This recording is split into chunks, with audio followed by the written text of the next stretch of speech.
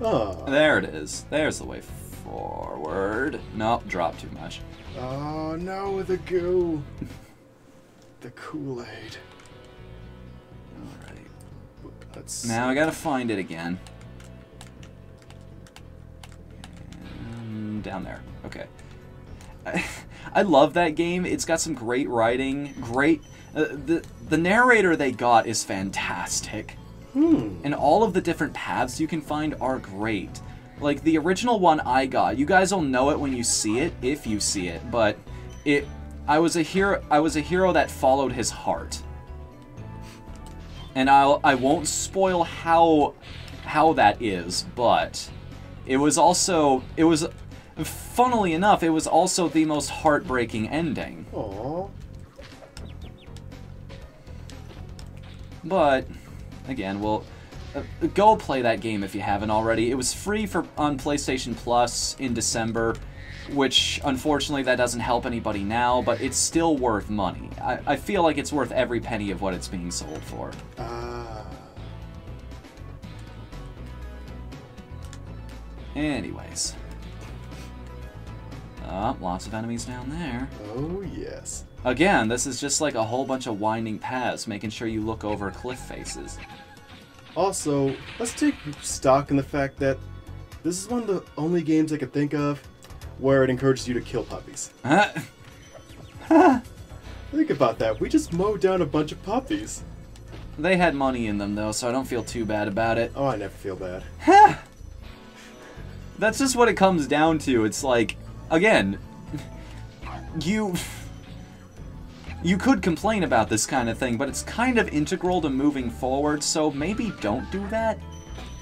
Exactly. Like, no, this isn't me going, oh no, how, what are we doing? It's me actually just making an observation of, you know? Eh, it's some of the things that are just funny out of context Ex- of the game itself. Because think about all the crap people give video games saying it encourages you to do horrible things. Well, this is a very good natured game, but we kill puppies. That's a fair point, actually. and on top of that, that little imp that we keep encountering with the bow and arrow, Kind of looks like Cupid. and yeah, it looks like a mixture of Cupid and Satan. A little bit, yeah. So, so again, someone could just go, "This game has the devil in it." I can imagine some church group getting all bent out of shape about that. Yeah. Well, it's got mythological creatures, and there are these one enem- the, there are these certain enemies that look like devils. So this game is clearly encouraging pagan worship. And again, the weird part is. The weird part is. By the way, I want to point this out. Yeah. It's something I realized not too long ago. We've been blaming the wrong people for the existence of participation trophies. what's that? It's like we always blame the kids, like the kids that can't handle not losing. No, that's the parents Yeah. who can't handle the fact that somebody is telling them that their kid wasn't good enough at something. Exactly. And you'd think they would get up in arms for grades, since that's what grades are. They're telling you either you're good at something or you're not as good at something as someone else. Lady, you getting bent out of shape about me about this, like giving your kid an F because he clearly didn't know the material, you are completely going against the spirit of the thing. You're going against what education is meant to do. And I'll say right now, I was never really good in school, but I, and as a younger Draw Mann, I thought, "Ah, this is bogus. But hey, Oba, oh, Obasi, I thought it said you you thought it said something else because of current events. Exactly. Again, just follow the sparkles here. Mm-hmm. Also, 66 dragons, not a single one is helping us. How many are in this game? Now that I think about it, 80. 80. Yeah, there are 80 dragons. Huh? Closing it. Whoa! Whoa! Did you know that could happen? No! He totally sniped that puppy. I thought we were brutal. That's. That's kind of neat. I I wonder if we can get him. to- again finding those really cool interactions between enemies. Yeah. I I can't believe you've never seen that before. I That have never seen that. The amount of times you played this game, at least from the stories you told me. Mm-hmm. Yeah, amount of times I've played this, I've never seen them just take out the puppies. Apparently, we're not the only terrible people in this game. oh man. It's like how You Matt, guys are on the same side. What are you doing? It's like how Matt Groening, when he saw the developers make Simpsons Hit and Run, Mm-hmm.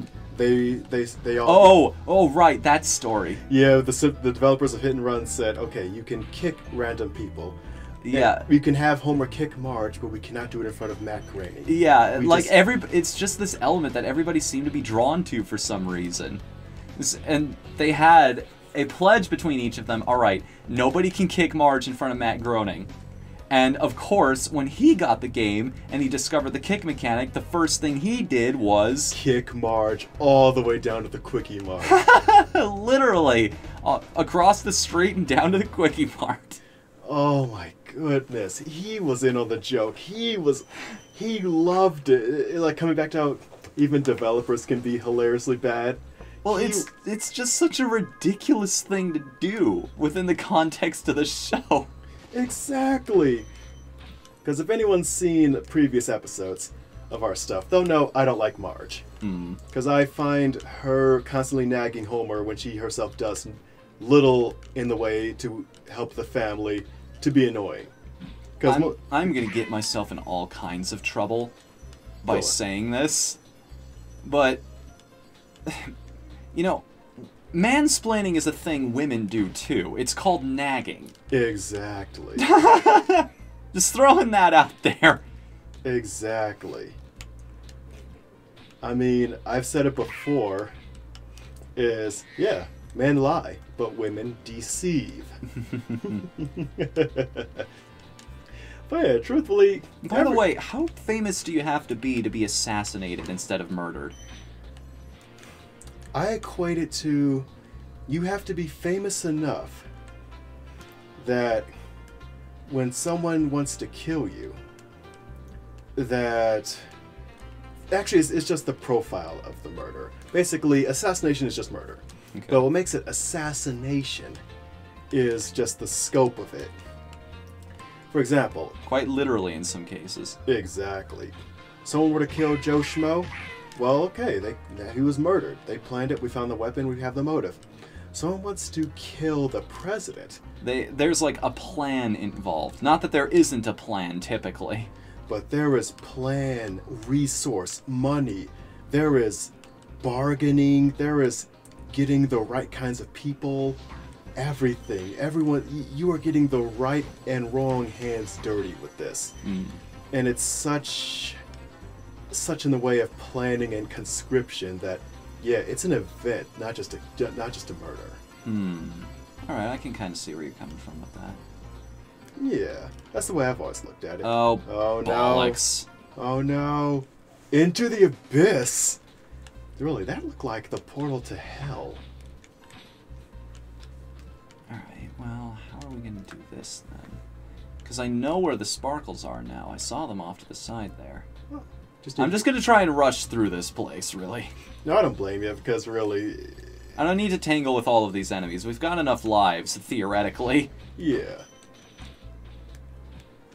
And again, see how we know enough about the platforming and how to really approach the area that a home world can be this threatening Hmm. with invincible enemies and nothing but floating chunks of land that we can navigate.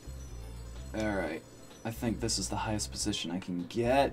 Actually, you could have just gone around. Oh. I was wondering where you were trying to get at. No, no, the. Yeah, right here, yeah. okay. So they do shrink down that guy. Mm hmm. Dope. Yeah, right here. So that's the last 10 I was missing. Mm hmm. Know, I'm right here anyway. We may as well go to Haunted Towers. Yeah. Oh, this is another favorite level of mine. Have at it. Oh, thank you. It's all you, dude. Okay. Oh, sorry. So, look at this magical place. So, right here, this is a suit of armor. In this enti- in the entirety of this game of playing as a dragon, this is the first time we encounter a suit of knight's armor. Mm-hmm. to get this treasure here. So we just gotta crash through the gate here. And hey, a Gnorc. We haven't actually seen a Gnorc proper in a while. Yeah. And a wizard. Which is weird because we're getting closer and closer to their homeland. Exactly. And look Oh. at that. Look Hot, at, dude. Look at this. That is a ghost suit, a suit of haunted armor. This is the most Dark Souls enemy we're going to encounter in this game. and We're never at, gonna let go of it. There's let go. probably gonna be some people who are gonna get really pissy at us about that. It's like, how is this like Dark Souls in any way, shape, or form? What are you guys on? It's like, how is this happy fun game with happy fun challenging game anything like the happy fun challenging game with Dark Souls? Well, well, if you guys have been paying attention, you'd know by now. Go watch the rest of the episodes. Watch- I'll leave you an annotation right here, except I can't because they don't allow end cards and annotations in the same video. What the fuck is wrong with you, YouTube? Exactly. And look at this guy. Look. Nope. Look. Yep. Nope. Uh uh. No. No. No. Not in my house. not pass. Did I, did I get the impression correct? Look at this. If I'm wondering, well, what do I do? And same with this guy. Oh! He doesn't have a sword, but still, that's just as frightening. Well, yeah, so. This is pretty much the most. Oh yeah, I remember this now. So basically, in this, This- level, to This progress, is where this power up comes in real handy. Oh, yes. Yeah. Fuck you, fuck you, So much power. fuck you, So fuck much you. power. Oh, yes. I'm just gonna go get this real quick. Yes, and I think there were also some gems in that room where we got the kiss. Oh, yeah. So, basically, the, the name of the game here is Superpower. Yeah, Super fi- find the fairy, and then just wreck everything in your path. Exactly. Study the level, memorize where everything is. Left. Oh, sorry, I was getting this. Yep. Whew. Oh, thanks. I appreciate it. Thank you. There's nothing. Ref- there's nothing left to blow up, but Ooh, actually, there is. oh yeah, this guy, and that one. I never would have thought to do that. Because I forgot if he ever, if that guy ever comes, ever comes to, but I figured get him now. But yep. Preemptive strike it, pretty much. Oh yes. Let's see. I think we've cleaned this place out. All right, whirlwind. But yeah, fairies, knights, castle. I don't mean to backseat game. Sorry if I'm getting obnoxious. Oh no, you're good. You're good, buddy. Oh, oh, wow. Well, there he goes. Yeah. But yeah, look, fairies, knights, wizards. This is the most fat. This is the most medieval fantasy of the of the Spyro levels. It's one of the old. The, I like to imagine each of these dreams belongs to one of the dragons. yeah. It's sort of like in Super Mario RPG, where the Wishing Road, you can find the wishes of all these different characters that you recognize. yeah. And you know, it makes sense that one of the dragons would have a dream where, hey, there's a castle. I'm a dragon. It's probably one of the older ones. yeah. Ooh, you could. This could be from their from their youth. Yeah. Huh. Let me tell you. Did I ever tell you little bastards about the time I 360 no scoped King Arthur? Did I tell you about the time I laid siege to an entire country? Wait, what? You were cool? yeah, where do you think all this treasure came from? I stole it and hoarded it. You didn't. I was so hoping that grenade would blow up that suit of armor. I was hoping to. I, I- we both paused. that would be the ultimate skill shot, because you only get one chance at that, too. Exactly. There we go. Let's get this here. Yeah, we'll get to you in a second, sweetheart. Oh man, why is it? I'm just imagining I'm gonna hide this treasure right here. Nobody will ever find it. No one will ever want to come. Except that they kind of have to, because we have to design it to be beatable. Exactly. Oh yeah. Oh yeah. Oh yeah. I don't know. Again, I keep bringing up this. Uh, I don't think this. The example everybody keeps going back to is uh, Undertale. When you Uh-huh. refer to an when you refer to an enemy that knows that the battle is fruitless, Yeah. that knows that the game that they're in a game and that uh, it's been designed to be beaten. Uh huh. I just you gotta wonder what that would psychologically do to a person. Yeah. Especially a villain if you're playing against them. Oh or better yet, playing as them. Ooh. Like, you know that the hero's out there. You know that they're a lot stronger than you, that you're destined to lose to them no matter what you do. How do you handle that? Exactly. Oh yeah, I see what I'm. s- I see what I'm supposed to do. Run faster. It's this bridge. It's intimidating when you're not used to it. the responsiveness. Yeah. I. Okay, there's something I gotta show you. Have you ever played Grand Theft Auto 5? No, but I've seen. Okay, so essentially, I just played it for the first time a month or two ago. Oh really? Yeah, like I don't know, those kinds of games just never appealed to me. Hmm. But I had to get some footage from it because I needed footage of Trevor for one of the videos I was doing. Yeah. And I'm just watching his TV in this game and it's tuned to this anime channel. Yeah. Have you seen these clips? Oh my god. I've I've seen cartoons in their world. But I didn't know they were watching anime. No, th- there is like a fake anime in Grand Theft Auto 5 if you're watching the TVs and Oh, it's yes. it's uh, it's something, all right. It's good to know that there are people out there that are way more cynical than I am about certain things. Oh, that's awesome.